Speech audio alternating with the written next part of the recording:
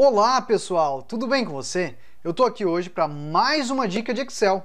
Hoje eu vou falar sobre como criar um gráfico de funil, mostrar um exemplo bem bacana dentro do Excel 2019 que facilita a sua criação. Bom, deixa eu me apresentar. Eu sou o professor Michel, responsável pelo curso de Excel Online. Além do que, sou especialista em soluções Office. Vamos lá? Planilha na tela. Vamos lá, planilhinha jogando aí. Olha só. Aqui a gente vai falar, pessoal, de como criar um gráfico de funil. Bem antigamente, lá nas primeiras versões do Excel, não seria possível fazer isso, né? Até eu acho que na versão ali 2000 e 2003 talvez tenha como fazer sim com gráfico de pirâmide, ok? Mas, por exemplo, se a gente fosse fazer há anos atrás, muitos anos, uns 20 anos atrás, a gente poderia utilizar a função rept, ok? Ó, que é uma função que ela faz o que? A repetição daquela, de uma quantidade de caracteres assim, fazendo uma representação visual aqui, ok? Dá para fazer também com formatação condicional, ok? Então posso ir lá na formatação condicional e criar aqui um modo de visualização bem interessante. Ah, professor, mostra aí. É bem simples, quer ver? Ó? Vou pegar aqui, ó, igual, vou pegar esse valor aqui, ó, tá bom? Igual esse outro valor aqui, tudo bem? Aí agora esses dois valores eu vou clicar e arrastar aqui para baixo, ok? Ó. Agora eu vou mudar o alinhamento, vou passar esse para cá, assim, ó. tudo bem? A seguir o que a gente faz? Eu vou pegar, selecionar ele, formatação condicional, aí ele tem aqui a opçãozinha da nova regra. Aí eu posso utilizar aqui, por exemplo, ó, barra de dados, ok? E aí, ó, na barra de dados, vou dar um ok, ó. Veja, ele colocou desse lado, não colocou? Se a gente mudar aqui, né, ó, aqui não, deixa eu pegar aqui primeiramente, ó, gerenciar regra, deixa eu mudar aqui na editar regra aqui, ó. Direção da barra, ele tem que ir da esquerda para a direita e da direita para a esquerda. Se eu colocar da direita para a esquerda, vamos aplicar. Olha lá, mudou a barrinha, não mudou? Agora eu faço a mesma coisa do outro, ou clico no pincelzinho e passo aqui. Só que eu vou lá na formatação, gerencio a regra e vou editar a regra. Logo a seguir a gente coloca aqui, por exemplo, da esquerda para a direita.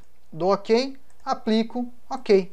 Agora os valores, ó, a gente pega aqui, ó, gerenciar regra, Vamos pegar as duas regras, ó, colocar somente a barra, vou editar a outra, ó, somente a barra, ok? Aplico, olha lá.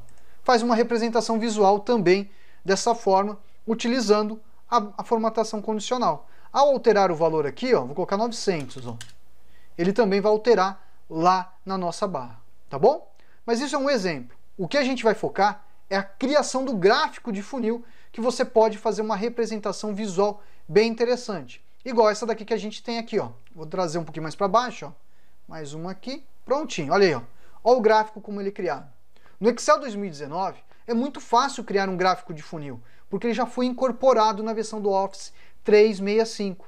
Lá você tem a opção do gráfico de funil para criação.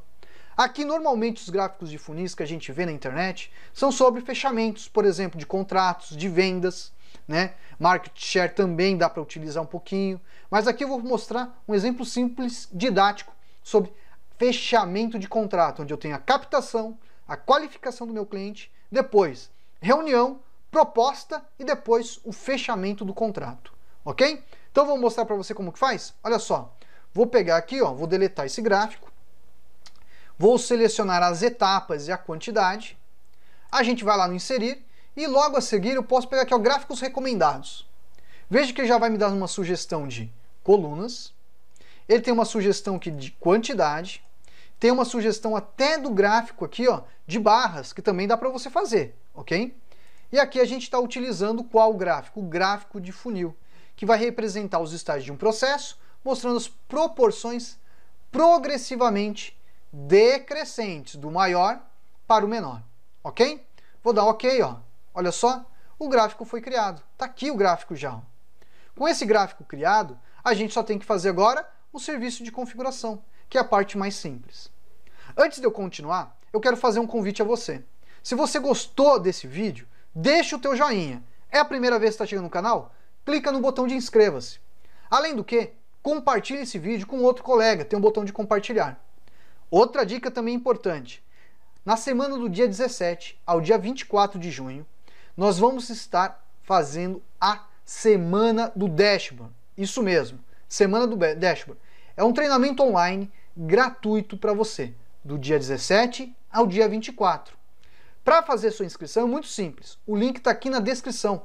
Vai lá, corre e faça sua inscrição, ok? Então vamos retomar? Então vamos lá. Criação de gráfico de funil no Excel. Tá aqui, né, pessoal? Vou tirar um pouquinho do zoom. O gráfico está criado. Aqui eu vou excluir isso daqui, porque senão atrapalha um pouco aí, né?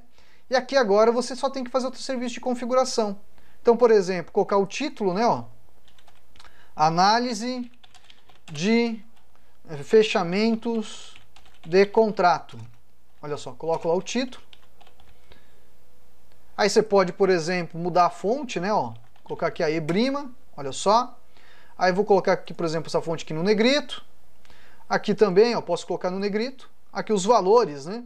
Olha só, vou colocar numa outra cor, ó. Aumentar um pouquinho mais, ó, só para mostrar o aspecto visual. Se você clicar no sinalzinho de mais, os rótulos de dados dele, pessoal, ele tem aqui, ó, nenhum ou no centro, tá? Ó. Quando você clicar em mais opções, ele vai mostrar também aqui ó, as opções e você pode configurar as opções de número, tá bom? Não tem muita liberdade em você lidar com isso dentro é, do gráfico, ok? Mas ele sempre vai ficar dessa forma, se assim você desejar, ok? Ou você omite o valor. As cores, você pode utilizar aqui o design e você tem algumas opções de design que você pode utilizar, ok? Ó, olha só. Eu, né, professor em si, eu gosto muito de fazer o seguinte, eu vou no alterar cores e mexo aqui ó, nos padrões de cores que a gente está a trabalhar mais adequado, ok? Que, por exemplo, a gente está com um gráfico em verde, né? Ó, poderia colocar em alguma formatação nesse estilo de cor, no verde, caso fosse minha vontade. Ou vou lá no formatar, preenchimento, escolho aqui ó, o mesmo tom de verde que eu estou trabalhando nessa planilha, para fazer uma combinação visual mais interessante, ok?